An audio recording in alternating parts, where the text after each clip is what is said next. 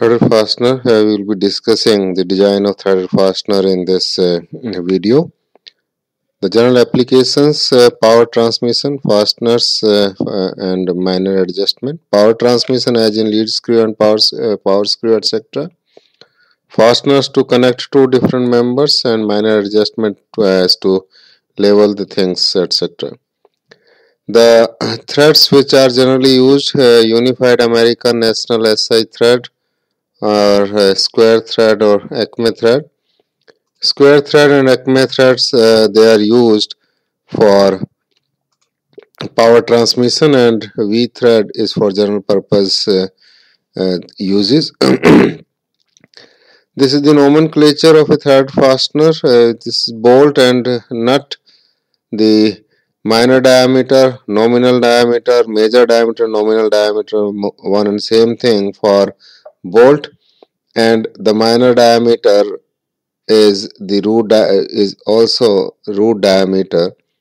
Pitch is the distance, uh, uh, axial distance of two consecutive points on threads the designation of a IS thread is like this uh, M10 multiplied by 1.25 or some figure where M stands for metric thread. T uh, this uh, 10 is major diameter or nominal diameter and this 1.25 is pitch. So this is how the bolt is designated. Is the last if we see the last column of this table it is tensile stress area and this is the uh, area which corresponds to assumed value of load where we uh, assume that this load is uh, is supported. And it is given by the average of uh, the pitch diameter and minor diameter the area corresponding to average of this. So this is tensile stress area. We assume that failure is uh, taking along this and load is also acting on this two types of threads uh, coarse thread and fine thread this one we have the designation uh, the second uh, digit is there that after the uh, multiplication sign this is for fine thread if these are not there in M10, M12, then it is a coarse thread. The general application of coarse thread uh, is uh, mentioned here. The fine threads are used for finer application where vib vibration shocks are in general um, uh, the possibility in the application. In case of multi-start thread, uh, or uh, the let us uh, first discuss what is the different uh, angles in a thread the lead angle and helix angle are two major angle as shown here if we give one complete rotation this point travel from here to here and reaches to this point. This distance is called as pitch or lead. In case of single start thread pitch and lead both are same. The angle this uh, this uh, in the complete rotation the travel is pi d1 that is the circumference of uh, the thread. Uh, the d1 is major diameter and this angle is helix angle which is which is measured along the axis of a um, threaded fastener. In case of uh, multi-start thread here it shows two uh, double start thread. In this case the lead is number of start multiplied by pitch so for two. Uh, double start thread it is 2 multiplied by pitch so the another important term that is bolt screw and stud that we use here in the case what is the difference between bolt screw and uh, stud the bolt no doubt assembles uh, the different uh, element with the help of nut. We apply torque on the nut and there are two different members whereas in case of screw there is only single member and we apply torque on the uh, screw head and uh, the uh, that that is why if you if lead screw and screw jack are named after the screw we apply torque on the uh, this uh, screw head. Not on there is no other component which is used to assemble this. So stud is there is a, a threaded portion in two different part. In both the cases here the threads are there only here in the upper uh, upper part and uh, this uh, here in this case the threads will be there uh, in the both part of this. So here it it is uh, it's called as stud. And no doubt uh, the torque is applied on the uh, there is one nut which is used to tighten this uh, uh, stud the material used uh, there are different material we can use on the basis of the application and uh, the manufacturing method. Uh, the threads as we know we can cut threads by machining or rolling but the rolling threads are stronger as it gives us uh, better fatigue properties because at the crest or the uh, at the root the uh, compressive stresses are induced in case of rolling the power screw thread threads uh, may be uh, grounded so that there is no um, you can say uh, possibility of any stress raiser.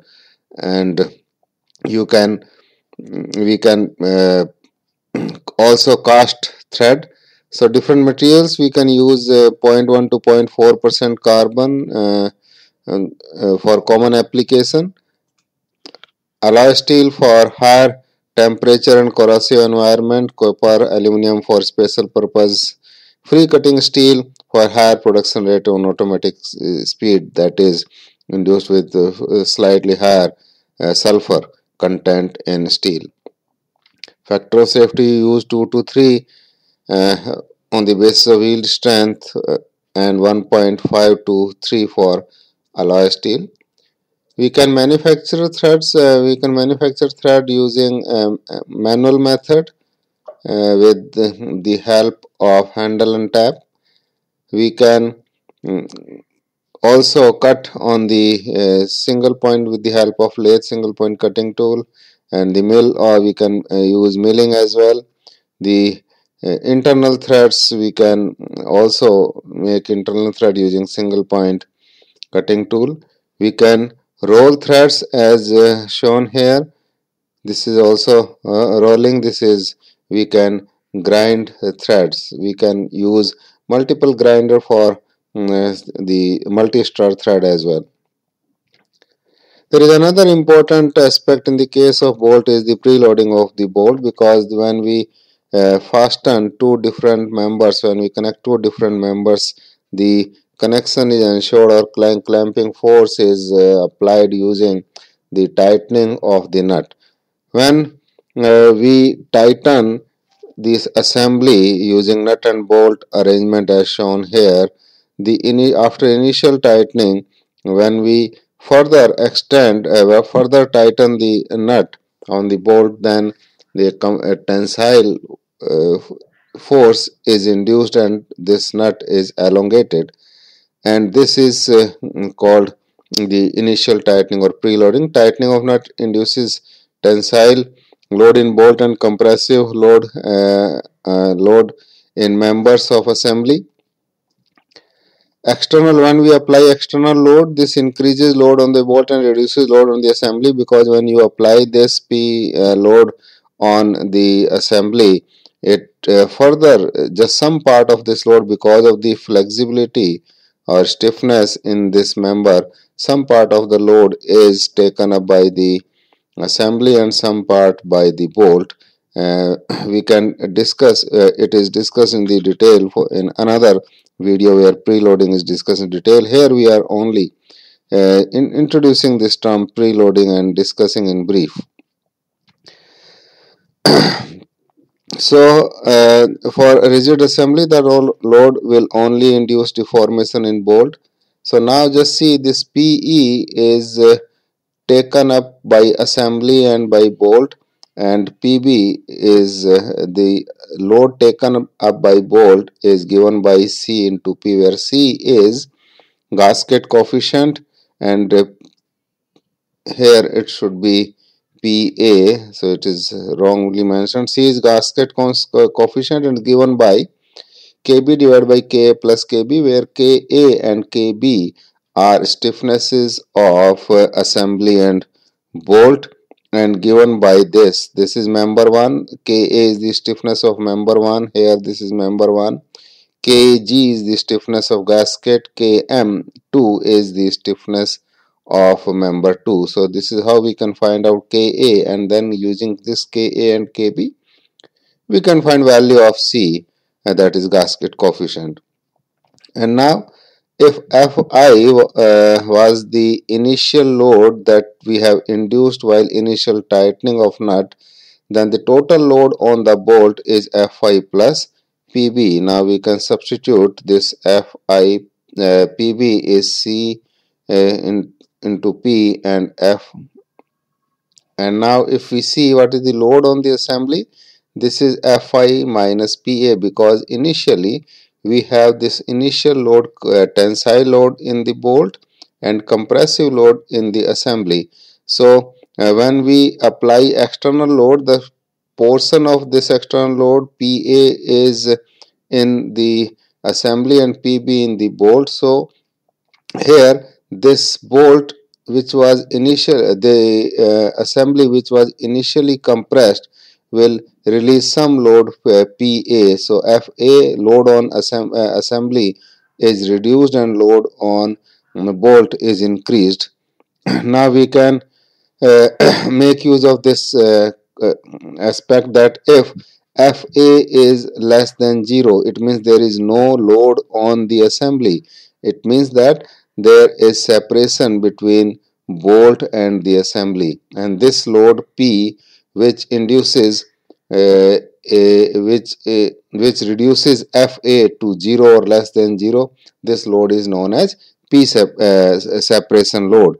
And now we can substitute the value and uh, find what is the value of C uh, P separation and from here we can find out how much the a factor we should consider for designing this load so that no separation is uh, taken place. So uh, this load is uh, this factor is known as separation factor. This is given by p separation divided by p. P is the external load. P separation we can assume maybe 1.2 times of p or so that um, the n separation is 1.2 like that. So now we can use suppose 1 n uh, separation then f bolt which we should use for designing bolt is given by this value where uh, this is separation factors gasket factor external load and initial load. The initial load is uh, also used to find out how much torque we have to apply so that that much amount of initial load is induced. This is given by kfi times t where k is uh, taken as 0.2 for dry surfaces and 0.15 for lubricated surfaces.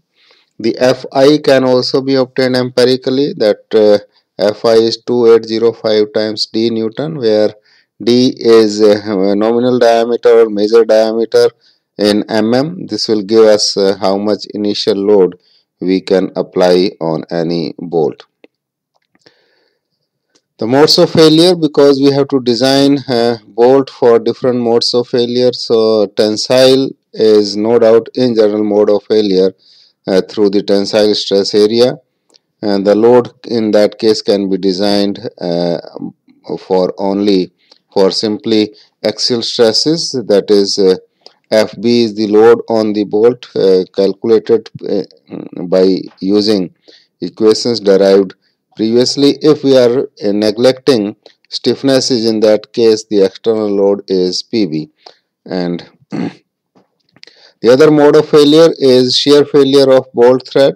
If threads are failed uh, in shearing because we assume that the uh, load is uh, acting along the shear area tensile shear area. So shear failure will also be along that area uh, so shear area of bolt thread is given by pi d3h because d3 is the lowest area.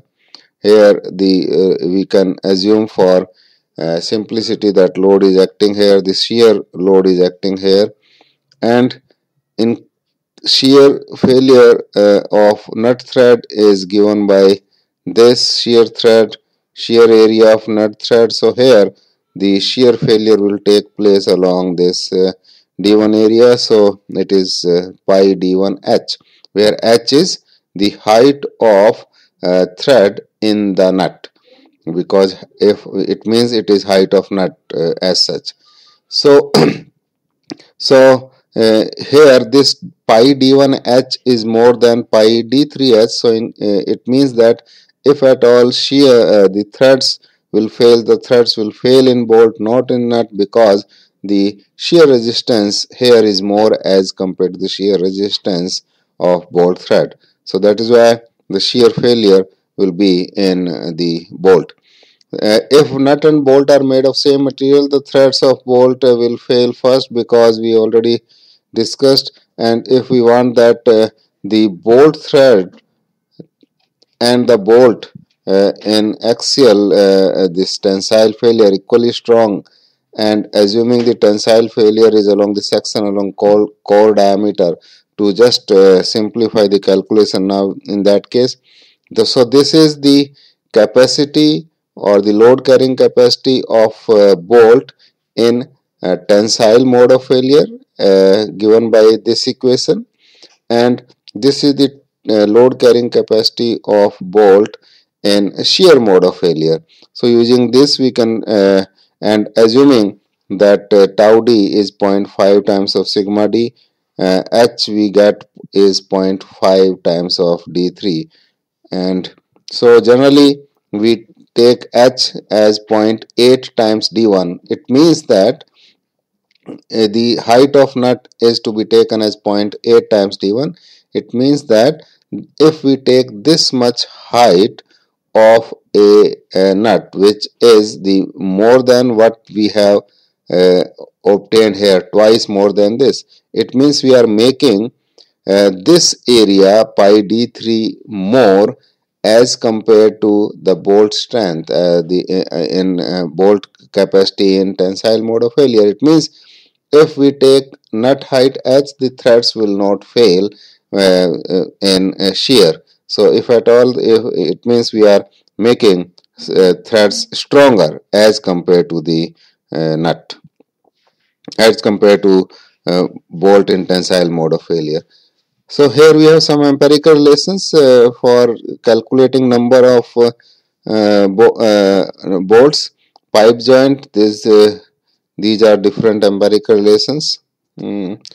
And then to make it leak proof, we have some relations for pitch as well. So if these are the number of bolts, how these bolts are to be arranged, that is the pitch, what should be the minimum distance between these two to make it leak proof.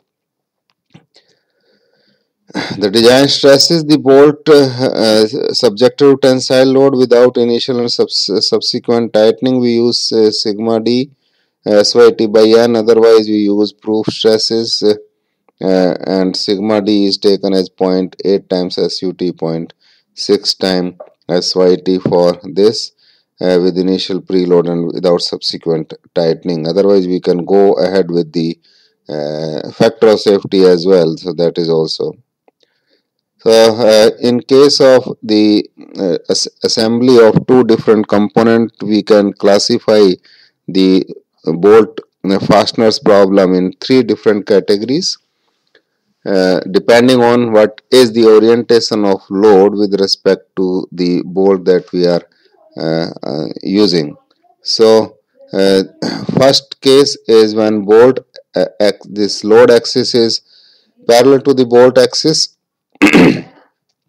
so in this case the this load will try to tilt this particular bracket about this point or about this edge CD. So if we consider the deformation pattern in that case we as uh, we see that there this deformation is this here this deformation is this and uh, otherwise we first we can discuss that why we need this deformation pattern because uh, to find out how much force is acting in each and every bolt uh, we need to transfer load. This is one thing to the CG of the bolt geometry first thing.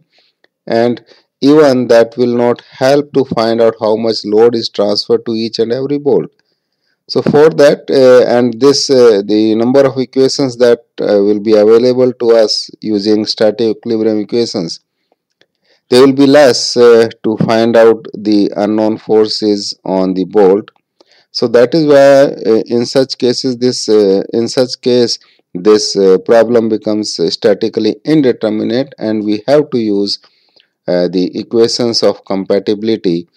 Uh, those equations of compatibility are obtained using the deformation pattern we know from our basic uh, knowledge of strength of material or statics.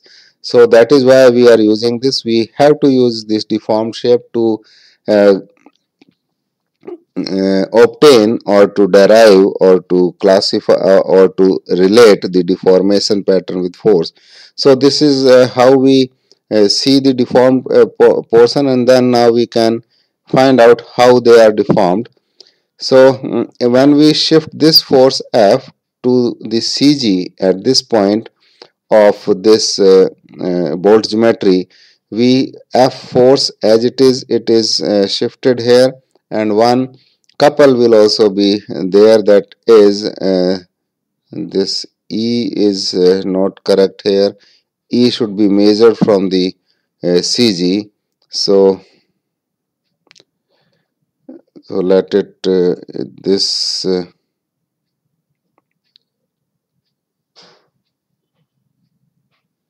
so let us correct this first and then we will proceed because E we have to measure from the CG hmm, let me select a pen and this if this is the CG then E should be measured from this. So this is the value of E. We'll be shifting this force to the uh, this uh, CG and then a, is measured from this. So this is not correct. So coming back to this. So this f uh, uh, is uh, f load is here. This f load is equally shared by all the bolts because you have shifted to cg and then f into e couple is there which is trying to tilt this which is acting here. So we can uh, now see from the deformed shape that the secondary force that is represented by double dash and here single dash is representing primary force. So the primary and secondary forces are simply named. We can represent by simple dash single dash and double dash. We have two forces two effects. So f1 is the f1 dash is the effect of force and this f1 double dash is the effect of the couple. So we can see from here that this deformation uh, is uh, is directly proportional to the distance. This is lower deformation here it is higher deformation. The distance from uh, the tilting point to the uh, bolt number 3 and 4 is less. The distance is uh, from tilting point to load number 1 and 2 is more. So here we can write down this uh, is directly proportional to the different lengths. So we can now uh, derive these relations and we can find the, in the both the cases where the whether it is secondary force or primary force or f1 dash or f double dash and other forces it, all are along the axis all are acting along the axis of bolt and inducing uh, axial deformation. So that is why it is only the axial uh, for axial stress will be there. So this represents the state of stress on bolt. In appropriate uh, direction we can show it along the uh, vertical as well uh, rather than this. So the design uh, the design equation will be this where we have to take the maximum of these f1 f2 f3 f4 where f1 f2 they are given by this. So this is how we can find out the we can design the bolt. The next, next case when the load acting perpendicular to the bolt axis again uh, this is the bolt axis. This is load perpendicular to each other. The deformed position uh, to find out the forces again we can take here in this case uh, uh, we shift this force through the CG again here to this point and it means that the force F will be there which is acting in this direction vertical downward direction and then one force and one couple which is acting in this plane. So and this couple will try to tilt this about this point. So now we have two things this vertical force will try to shear it off the uh, bolt shear it off the bolts. So this will induce shear stresses and this couple which is uh, trying to tilt this about this will elongate the bolt. So that is why it will induce uh, direct uh, axial stress tensile stress. So we have two stresses. One is shear stress another is normal stress so state of stress in this case is given by this. As we know, whenever we have biaxial state of stress, we have to use theory of failure for designing such components. So in this case, we have to use theory of failure for designing the bolt. We can use maximum shear stress theory or maximum principal stress theory to design this. The third case is uh, when bolt uh, load is acting in the plane of the bolt so this is the case. We can uh, transfer this load from here to the CG of the bolt or rivet geometry. So this is how we can represent force and couple. And we can this F will be equally shared by all the bolts or rivets. And this will try to tilt it uh, twist it the complete plate uh, about uh, this as center. And will apply some force on this. So we have two type of forces, one acting downward which is equally shared with the F divided by the number of bolt and then this tangential radial uh, the tangential force measured from this to this. So uh, this force uh, the uh, denoted by F double dash or secondary force can be obtained uh, using this if we have this CG and the rivet if some rivet or bolt is uh, uh, situated here it will be it will undergo more deformation as compared to this. So that is why here the force will be induced more. The resisted uh, this the resistance offered by bolt or rivet will be more as compared to the resistance offered which is nearer to the CG so it means we have more stress is induced here uh, near the uh, uh, which is farther from the CG so now we can uh, write this. So uh, secondary force will be directly proportional to radial distance. So that is why we can have this type uh, this these expressions to find out primary force and secondary forces. And in this case both forces are acting in the same plane but different direction. So that is why the resultant of these forces are to be obtained using a parallelogram law as uh, given by this. So this is the state of stress because only in plane shear is there. So in plane shear stress will be induced. The tau is F by A where F is maximum of these four. So we can find out design this like this. So next is bolt of uniform strength. Uh, we know that shank diameter is uh, same as nominal diameter and tensile stress in the th threaded portion is high due to reduced diameter as shown here. So the stresses will be more because uh, there are two uh, reasons for that.